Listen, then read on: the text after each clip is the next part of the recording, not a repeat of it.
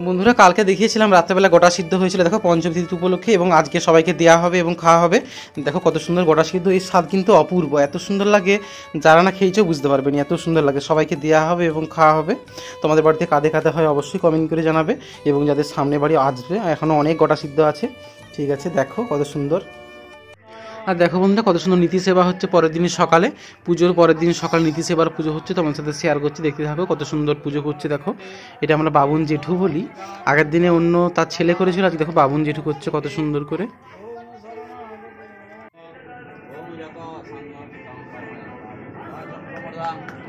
আর বন্ধুরা, এটা সন্ধ্যা আরতি হচ্ছে, দেখো কত সুন্দর করে। এটা হচ্ছে আমরা পিসে মশাই বলি, দেখো কত সুন্দর করে সন্ধ্যা আরতি করছে। সকালে আমাদের বাবুন জেঠু পুজো করেছিল, আর এখন সন্ধ্যা আরতি অন্য একজন করছে। দেখো পিসে মশাই, আমরা পিসে মশাই বলি, কত সুন্দর করে আরতি করছে, দেখো।